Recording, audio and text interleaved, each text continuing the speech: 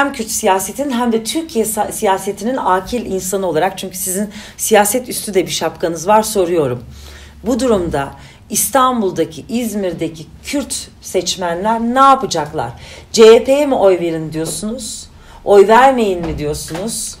Ne mesaj veriyorsunuz? Yoksa belki de sürpriz yani, aday mı çıkaracaksınız? Işte bütün eleştirilerimize rağmen, bütün eleştirilerimize rağmen Kürtlerin bu Kürt düşmanlığı yapan bir siyasi partiye destek vermesine imkan yok. Yani iktidara destek vermesi imkan yok. Yani bizim eleştirilerimiz demokrasi mücadelesinde açık bir tavır koymalarını istediğimiz içindir. Bu tavrı eksik buluyoruz. Yoksa elbette ki e, biz burada değişim ve dönüşümün e, olması, e, bu hükümetin yürüttüğü politikalar karşısında özellikle Kürtlerin, demokratların bir tavır koymasını biz istiyoruz ve bunu destekliyoruz. Yani isimlendirmeye gerek yok. Yani bizim için önemli olan bir demokrasi, demokratik bir gelecektir. E şimdi bu partide bir demokratik geleceği beklemek, bu iktidardan beklemek e, saflık olur. E ne yapmak zorundasınız? Siz farklı arayışlar içinde girmek zorundasınız. Bu farklı ama bu farklı arayışlar içinde gelirken bunun öncülüğünü yapanlar eğer tereddütlü davranırsa bu demokrasi mücadelesine zarar verir. Benim ifade etmek istediğim bu, anlatmak hı hı. istediğim bu. Hayır, e, şu için söyledim ben de çünkü İzmir'den geliyorum. Mesela oradaki Kürtler çok belirleyici. İzmir'de çok fazla Kürt seçmen var. Hani daha zaten İzmir'de adayı da belli değil ama kime verecekler? Yani kime iç sandığa gitmeyecekler mi? Sandığa gitmemek Elbette ayrı bir durum ortaya çıkarıyor. İşte Ekrem İmamoğlu mesela e, destek verilecek mi? E, şehirdeki Kürt seçmenin profili de daha farklı bölgeden. Tabii yani şimdi bu istedim. sizin sorduğunuz sorulara bir parti adına cevap veremem. Kendi adınıza Ama ver. kendi adıma vereyim ki başında söylediğim gibi e, bu iktidarın demokrasiye, insanlara, Kürtlere verebileceği bir şey yok.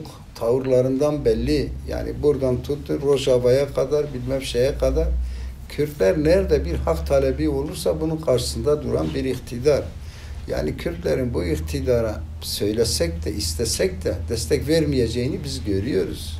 Yani insanlar evet bir baskı var, bir şey var, insanlar suskun ama gerçekten nelerin yaşandığını, nasıl bir Kürtlere karşı siyaset izlendiğini çok iyi görüyor ve izliyor. Yani bu konuda bir endişemiz yok.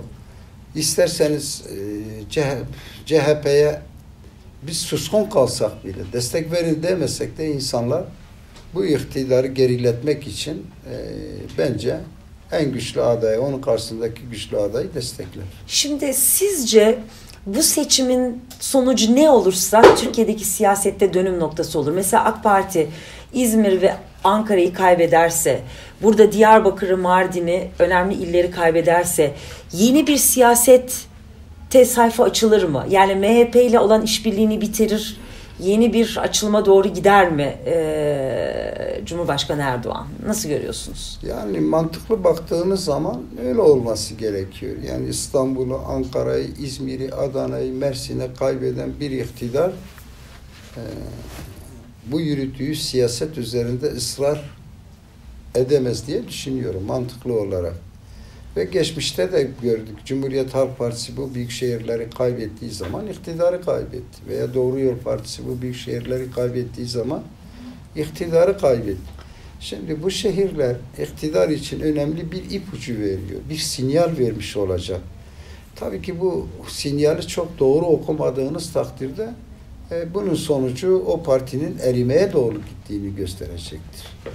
Şimdi burada iktidar partisi gerçekten e, gelecekle ilgili e, bu yürüttüğü politikalarla ilgili, oluşturduğu cepheyle ilgili, ittifakla ilgili eğer istediği sonucu almadığı takdirde yeniden düşünmek zorunda ve farklı bir yaklaşımı ortaya koymak zorunda. Ama biliyoruz ki bu iktidarın başındaki olan Cumhurbaşkanı işte partinin aynı zamanda genel başkanı e, öfke ve duygusal bir yaklaşım içinde hep. Yani işte birileri ya benden olacak ya benim düşmanım olacak gibi bir yaklaşım içinde. Yani kendini değiştirme, yeniden düşünmeye, işte yürütülen politikaların yarar getirmediğini hem kendisine hem Türkiye'ye yarar getirmediğini e, acaba e, gündemine alır mı olmaz bu konuda endişeliyim. Yani biraz kişilikle ilgili bir şey, yapıyla ilgili bir durum. Şimdi yani. Erdoğan'ı siz de tabii daha, çok daha iyi tanıyorsunuz.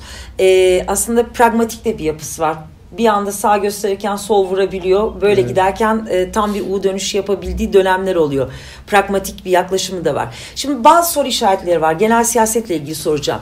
2012'deki açlık grevlerini hatırlayacak olursak o dönem o grevler e, aslında çözüm sürecinin başlangıcını oluşturmuştu. Sonra evet. 2016'da tecritin kaldırılması için Abdullah Öcalan'a yeniden açlık grevleri oldu ama pek fazla bir sonuç vermedi. Şimdi HDP'nin iki kadın milletvekili açlık grevine başlıyorlar. Bu birdenbire bir e, soru işareti doğurdu. Neden şimdi? Neden? Bu yeni bir dönemin acaba işe yani şöyle herkese bir kafasında soru işareti doğurdu. Acaba bir sinyal alındı seçimden sonrasında yeni bir sürecin başlaması ihtimali mi var? Bu ihtimale göre HDP bir pozisyon mu alıyor? Nasıl değerlendirirsiniz ya da nasıl değerlendirmeli yani kamuoyu? Böyle ortada bir sinyalin olduğunu düşünmüyorum. Ee, ama buradaki arkadaşlarımız gerçekten yürütülen e, tecrit politikasının hukuksuzluğunu, haksızlığını, ve bu tecrit politikaya karşı e, durmanın e, bir sorumluluk olduğunun bilinciyle hareket etti. E, bence bu başlarken de örgütlü bir şekilde başlanmadı. Leyla Güven arkadaşımız böyle bir sorumlulukla e, başladı. Ama sonuçta bu yaygınlaştı. Şimdi tabii ki e, bir hükümetin veya iktidarın e, insanların ölüme gittiği bir dönemde suskun kalması düşünülemez. Şimdi dün Mehmet Öcalan işte iki Hı. gün önce Mehmet Öcalan adaya gönderdi. Ama bu tecridi ortadan kaldırmaya yönelik e, bir e, icraat değil. Sadece tecridi kırmaya yönelik bir e, duruş olarak değerlendirmek lazım. E çünkü sadece bir sefer kardeşini göndermeyle bu tecridin ortadan kaldırdığını biz söyleyemeyiz. Kimse de söyleyemez. Yani budur. Ama bunun arkasında avukatlarıyla görüşmeler, cezaevlerindeki uygulamaların değiştirilmesi konusunda atılacak adımlar e, biraz halka umut verebilir. Şimdi bakınız 100-200 bin insanın üzerinde tutuklu var. Ve burada aileler perişan. Şimdi adam Mardinli çocuğunu ta, ta Trabzon cezaevine göndermiş. Ve insanlar yol parasını bulup iki yılda, üç yılda gidip çocuğunu göremiyor. Yani hükümet istese işte Mardin'den tutuklanan Mardin cezaevine gönderir her yerde bir yerde. Ama ne yapıyor? Mardin'dekini Tekirdağ, Mardin'dekini Edirne'ye, Çorlu'ya, Trabzon'a göndererek adeta bu halka bir zulüm politikası yürütüyor. Şimdi bir yerde çıkıyor diyor ki ben Kürtlerin düşmanı değilim. İyi de o çocuklar haydi cezaevinde. Ailelerin ne suçu var? Aileler kendi geçimini sağlamazken, şey yapmazken çocuğunu görmek için bilmem borç alarak, bilmem dilenerek gidip çocuğunu görme ihtiyacını diyor. Ya bu zulüm değil midir? Bu bir halka zulüm değil mi? Yürütülen politika zulüm değildir. Şimdi bütün bunlar yaşanırken diğer tarafta işte Rojava'da işte büyük güçleri sınıra yığarak Kürtlerin işte bütün kazanımlarını ortadan kaldırmak için her türlü şeyin içinde teken yani Kürtler nasıl inanacak yeni bir sürecin başlayacağını işte bu pragmatik yapısı işte bir pratmıyor. Artık o sınırlar aşılmış. Yani bazen bir yere kadar güvenebilirsiniz. Evet bu politikalar sonucunda biraz değişiklikler, gelişmeler olabilir. Hep bunun hesabını yap. Ama yürütülen politika, bugünkü icraat, bugünkü yaklaşım biçimi e, gerçekten e, hem bizi hem toplumu bir umutsuzluğa götürmüş, bir umutsuzluğa sevk etmiş durumda. Yani siz herhangi bir adı ne olacaksa, çözüm süreci mi olur, barış süreci mi olur, yeni açılım süreci mi olur, normalleşme süreci mi olur, ismi neyse önemli değil. Bunun henüz daha bir ışığını yani tabii ki bir barış bir çözüm süreci için e, konuşmak çok erken. Yani bu aşamada böyle bir e, düşünmüyorum. Böyle bir beklentimiz yok siyasete. Ama biraz önce verdiğim örnekler evet. normalleşme süreci için bazı adımların atılması lazım. Hayır, durup Siz dururken- toplumu evet normalleştirmeden zaten çözümü de sağlayamazsınız. Ve hak ve özgürlüklerin e, sağlanma konusunda o hak ve özgürlüğü bir insanın, bir kimliğin, bir kültürün, bir halkın bu hakların olduğunu işselleştirmezseniz çözemezsiniz de. Şimdi çözüm için de buna inanmak lazım. Evet Kürtlerin bir dili var, hakkıdır. Bir kültürü var, hakkıdır. Ana dille eğitim hakkıdır. Siz bunları işselleştirmediğiniz zaman Kürt sorunu, muazzam sorunu da çözemezsiniz. Şimdi bu henüz yok. Bunların hiçbir belirtisi yok. Bu konuda bir fikir, bir düşünce veya bir tartışma bile yok.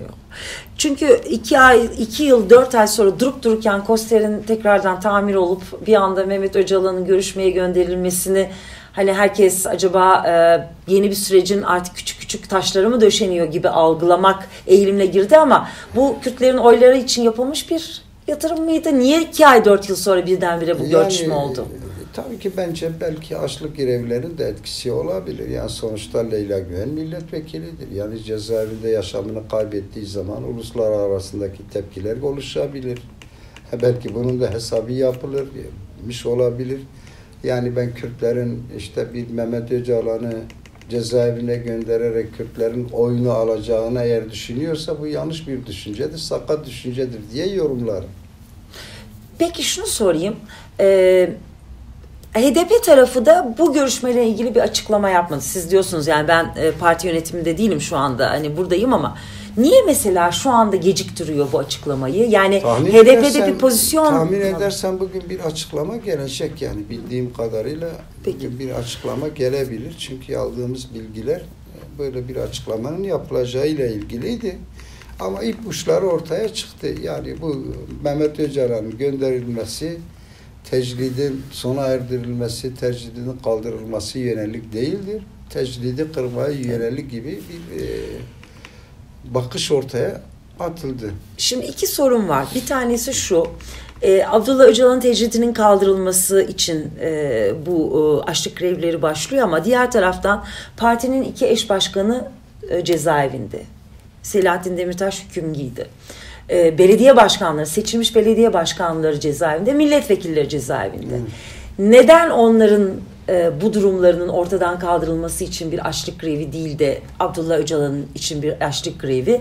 Hani bu anlamda HDP e, acaba daha farklı bir okumayı mı yapıyor Hayır, önümüzdeki süreçle ilgili diye? Şimdi, Bunu bir açar mısınız? Yani şöyle bir şey, şu gerçekçi olmak lazım ki Kürt siyasetinde Abdullah Öcalan, Sayın Öcalan önemli bir aktör. Ee, Öcalan'ın e, bu konudaki yapacağı çalışmalar ve ortaya koyacağı performans, e, sorunun çözümünü demokratik bir gelecek için halkların buluşturabileceği bir formülasyonu ortaya koyabilecek bir güce sahip, bir iradeye sahip.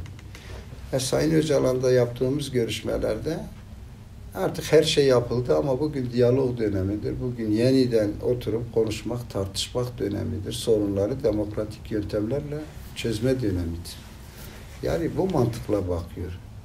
Şimdi elbette ki diğer arkadaşlarımız da çok değerli. Eş başkanlarımız, milletvekillerimiz, belediye başkanlarımız. E, tabii ki bunlar içinde her gün her gün e, bu hukuksuzluğu dile getiren bir çaba içinde partimizde, bizlerde, bütün partililer. Ama Sayın Öcalan sürecin demokratik bir sürece evrilmesi, barışçıl bir sürece evrilmesi konusunda e, önemli bir aktör. E, elbette ki bu konuda e, yani beklentiler e, Öcalan'ın devreye girmesiyle birçok şeyin konuşulabileceği, çözülebileceği inancı var toplumda. İşte o yüzden hepimizde. yeni bir sürecin evet. altyapısı mı diye sormak ihtiyacı duyuyorum. İşte onu hani o ipuçlarını göremiyoruz. İpuçlarını görüşmeler- göremiyoruz. Ha. Belki zaman içinde bu çıkar. Ama şu aşamada ben e, böyle bir çalışmanın başlangıcı olarak e, değerlendiremem. Bu yanlış olur. Çünkü onu göremiyoruz henüz. Yani ilk aklıma so- gelen soru bu tecridi kırmaya yönelik bir şey. Ee, Ali Bayramoğlu biliyorsunuz bu konuda uzun yıl yani hem e, e, Kürt sorunu konusunda ya da e, bu e, barışın sağlanması konusunda çalışan bir gazeteci. Geçenlerde şöyle bir değerlendirme yaptı. HDP, derin HDP Demirtaş'ı e, gözden çıkardı. ya da e, tasfiye etti daha doğrusu onun söylediği kelimelerle. Ne dersiniz bu tespitine? Yani Salahattin Demirtaş yani bugün bile herkesin, arkadaşlarımızın önemsediği, değer verdiği e, bir arkadaşımız. E, genel başkanlığı döneminde de e, gerçekten güçlü bir çıkış yapan, toplum tarafından da beğeni alan bir arkadaşımız. E bugün de aynı şekilde bakıyoruz işte Benden bir gün önce Pervin Buldan ziyarete gitti. Partinin eş genel başkanı arkasında bizler gittik. Milletvekili arkadaşlarımız izin verildiği takdirde gidip görüşmeler yapıyor. İşte her gün onlarca avukat gidip yani, yani şimdi bu spekülasyonları böyle gündeme getirip tartışmanın çok e, yararlı olacağını sanmıyorum. E, tabii ki bir görev değişimidir. Yani sonuçta Sayın Demirtaş bugün cezaevinde. Partide elbette ki kendisine göre yeniden örgütlenecek, yeni geç genel başkanlığı seçecek ve o görevi genel başkanlar devredecek. Ondan sonra da bu genel başkanlar bu süreci götürecek. E şimdi şu anda cezaevinde olan bir arkadaşımızın bir genel başkan gibi davranması da zaten yakış olmaz. Kendisi de asla böyle bir rolü oynamak istemez böyle bir durumda. Şimdi biz burada farklı bir şeyi söylüyoruz. Şimdi biz siyaseten, demokratik siyasetin içindeyiz. Yıllarda bu çalışmaları yaptık. Zaman zaman işte efendim niye işte bu barış konusunda bir şey yapmıyoruz? Hep bunu söyledim. Ya barışı sağlayacak elinde silahlı olan güçtür. Silahlı olan güç ikna edilmeden burada bizim yapacağımız fazla bir şey yok. Elbette ki bir barışçı sürecin başlaması konusunda her türlü desteği veririz. Ama sonuçta elinde silahı olan kesim ikna edilmeden bizim söyleyeceğimizin e, bir anlamı olmaz. Yani bu mantıklı olan insanlar haklısınız diyorlardı. Yani sonuçta onlar ikna olmadan bu iş yürümez. Şimdi burada silahlı güç ve silahlı gücün başındaki işte işte bütün hareketin benim irademdir dediği Abdullah Öcalan'ın e, bu konuda rol alması, bu konuda görüşmeler yapması, bu süreçle ilgili e, fikirler ortaya koyması elbette ki bizlerden daha fazla veya siyasetçilerden daha fazla o kesim üzerinde etkisi olur. Yani bu gerçeği görerek biz konuşuyoruz. Peki şunu sormak istedim. Suriye ve Fırat'ın doğusu operasyonlarını da birazcık soracağım ama ona geçmeden önce sizce biraz önce de söyledim. Ee, Cumhurbaşkanı Erdoğan'ı yakından tanıyorsunuz. Sizce ne olursa, neyi görürse Erdoğan tekrardan e, 2013 çözüm süreci ruhuna döner. Yani e, onun şu anda elini e, tutan ya da ayağını bağlayan MHP'li olan işbirliği midir sadece? Yoksa bir şey görürse dönme şansı olabileceğini görüyor musunuz? Ya da ne olursa bu riski alır yeniden? Yani çok zor bir soru. Ya gerçekten çok zor. Şu bakımdan zor. Ee, bugüne kadar gördüğüm siyasi liderlerden farklı bir siyaset anlayışı var. Yani nerede, ne zaman neyi yapabileceğini tahmin edemeyeceğiniz bir siyasetçi. Bu nedenle bir dönüş yapma imkanı ve şansı olur mu olmaz mı? Önce onu konuşmak lazım.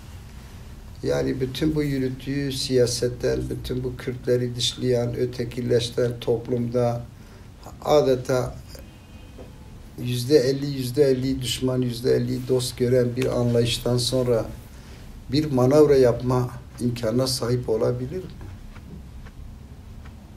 Biraz onu düşünmek lazım. İkincisi bu manavrayı yaptığı zaman ayakta nasıl kalabilir? Yeni bir ittifaklar oluşturabilir mi? O da zor. Artık Kürtler yapmazlar mı diyorsunuz? Yani Güvenmezler bir, mi diyorsunuz? Bir güvensizlik oluştu. Yani sadece şey değil biraz önce şey ettim. Bırakın siyasetçileri bilmem yani tutuklu olan insanların aileleri bile bugün öyle bir duruma gelmiş ki artık bir güveni kalmamış. Rojava'daki yürüttüğü siyaset Kürtlere karşı. Yani bir yerde efendim son dönemlerde çıkmış ben Kürtlerin düşmanı değilim. İyi de hangi Kürt'ün dostusun? Onu izah et. Hangi Kürt'ün dostusun? İşte Bekir Bozlak mı dostusun? Şimdi burada bir halk var, burada bir şey var, bir talep var. Yani bütün Kürtlerin taleplerini terörize ederek gündeme getirirseniz hangi Kürt sizin bundan sonraki atacağınız adımlara güvenir veya böyle bir beklentisi olabilir? Bence bu beklenti azalmış. Şimdi bir noktaya gelmiş yani şimdi tekçi e, iktidarlar e, mutlaka dünyanın her yerinde sonuçta bir değişim dönüşüm kırılma noktasına gelmiş, kırılmıştır. Yani öyle bakmak lazım. Yani bütün kontrollerini alan liderler veya işte diktatörler asla ve asla bir dönüş yaptığı zaman inandırıcı olmamışlardır. Ne Esad olmuş, ne Saddam olmuş, ne Kaddafi olmuş, ne diğeri olmuş. E şimdi bu eleştirileri yapıyoruz efendim. Ee, Sayın Erdoğan işte şey değil, bir diktatör değil veya tek kişi bir lider değil diyorlar. E peki o zaman bütün kurumlar kontrol altına alınmışsa, her söylediği sözden sonra bütün bakanları papağan gibi aynı şeyi tekrarlıyorsa, bütün kurumlar söylediklerini bir talimat olarak buna ne dersiniz? Yani burada demokratik bir Türkiye, demokratik bir yönetimde söz etmek mümkün müdür? Mümkün değildir. Hani burada belirlemeler yapıyoruz, düşüncelerimizi ifade ediyor. Şimdi gelinen noktadan sonra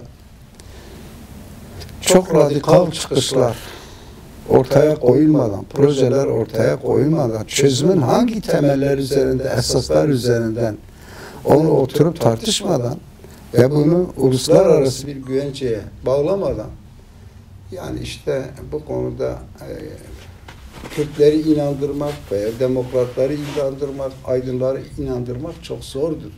Yani mesele sadece Kürtler değildir. Bugün 170-180 gazeteci diyoruz, akademisyenler hakkında davalar açılıyor işte.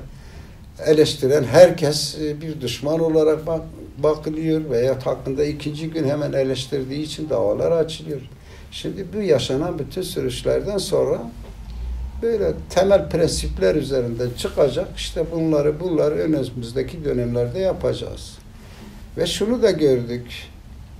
Özellikle bir sorun varsa bu sorun bir barış süreçlerinde üçüncü bir tarafın devreye girmesi lazım. O üçüncü taraf kimin gerçekten e, adım atıp atmadığını, kimin barışçıl bir gelecek için çaba gösterdiğini veya birilerinin bunu kösteklediğini görmesi gerekiyor. Bir hakem rolünü oynayacak bir şeyin olur. Biz uzun yıllar söyledik bu Kürt sorundaki görüşmeler olurken uluslararası gerçekten insan haklarından demokratik insanlarda biz illahi güçlü devletler bu araya girsin demedik ama gerçekten toplum üzerinde devletler etkinliği olur tarafsız kurumlar da bu üçüncü kesim olarak bu devreye girmeli ve evet. bu süreci izlemeli. Hakem rolünü oylamalı dedik.